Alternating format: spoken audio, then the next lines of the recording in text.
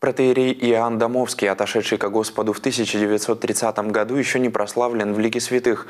Однако многие приходят к нему со своими просьбами, так как чувствуют, что и после смерти он молится о нас Богу. В день кончины ростовского подвижника у его могилы собралось немало горожан. За упокойное богослужение возглавил митрополит Ростовский Новочеркасский Меркурий.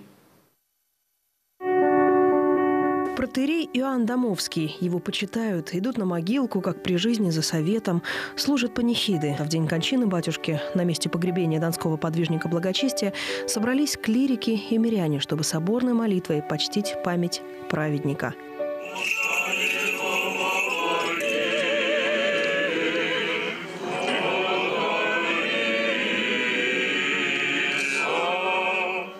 Тяжел ли крест священнического служения? Один Господь знает путь к нему каждого.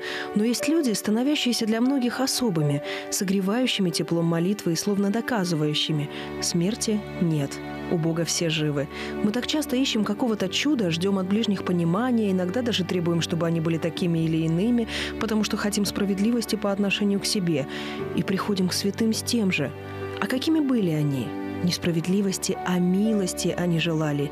И правды Божьей. Милости для других, а для себя прощения и спасения. Здоровья всем только благополучия. Но прежде всего здесь укрепляешься сам духовно и сам напитываешься любовью, которая необходима нам каждый день для нашей жизни, для нашего счастья, для нашего здоровья.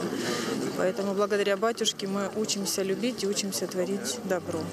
Наверное, и сейчас такое количество людей приходит на могилку не только за помощью и поддержкой, а за самым главным – любовью. Для некоторых сама возможность побывать здесь – подарок – я слышала от прихожан нашего храма э, об отце Иоанне, э, смотрела также фильм, и вот очень захотелось сегодня посетить могилку, побывать э, на панихиде, помолиться тоже отцу Иоанну. Наверное, у каждого человека есть свои просьбы к батюшке, и об упокоении нет, нет такого настроения.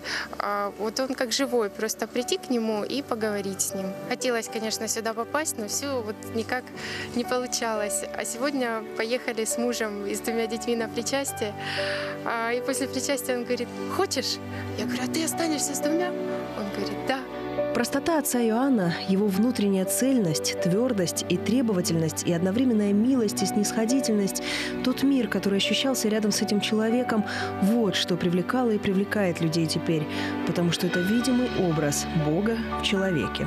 День кончины преснопамятного отца протерия Иоанна собрались сегодня у его святой могилы, почтить его память, вознести о нем святые молитвы. Потому что, совершая память о нем, мы совершаем память о себе, мы себя не забываем. Потому что имеем надежду его молитвами обрести милость Всеблагого Бога в жизни временной и в жизни вечной. Учиться любви и правде, учиться не бояться жить и как милость принимать самое большое чудо – возможность встречи с Богом уже здесь, встречи с Ним в молитве, в церкви, в таинствах и в своем сердце.